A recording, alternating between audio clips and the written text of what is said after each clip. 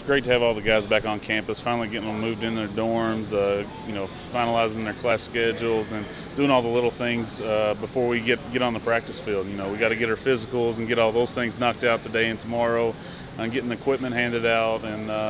But uh, you know, we're very excited to get to Friday evening and, and, getting on that practice field and getting those guys going. And uh, 125, 130 guys that'll be here today, and uh, it's a big time for us. And you know, anybody that wants to come out and watch us practice, you're more than welcome. Our practices are open to the public. Uh, sometimes we'll be out in the morning time, uh, and then we'll have our two a days where we're in the morning, and we'll come back in the afternoon. They picked us third in, in the league uh, going into next fall, so you know that, that's that's high expectations for us. Uh, but that's not where we want to finish. We want to finish number one, and uh, we want to win the first ever conference championship.